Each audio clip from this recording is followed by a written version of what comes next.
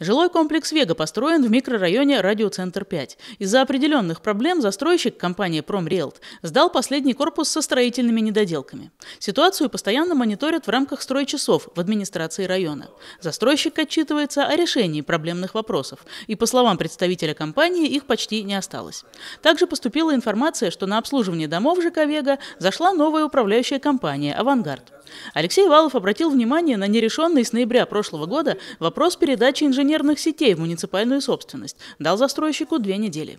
Тогда в судебном порядке будем истребовать как бы, передачу сетей. Потому что мы должны к э, началу отопительного сезона подойти уже с уверенностью в том, что у нас есть возможность степень воздействия на все эти процессы. Глава района запланировал выезд в ЖК «Вега», лично убедиться, что слова застройщика о завершении работ на доме не расходятся с делом.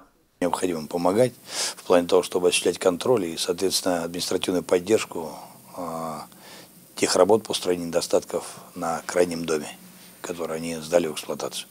Также в рамках стройчаса обсудили перспективы застройки микрорайона Дальний Воронок. В частности, речь идет о территории между железной дорогой и улицей Центральной, на которой находится много старых домов, требующих расселения.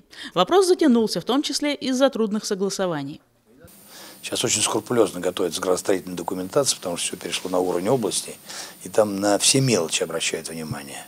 Тем не менее, администрация района рассчитывает в ближайшее время согласовать с Министерством строительного комплекса первый этап работ. Пора давно уже сносить непригодные для проживания аварийные дома.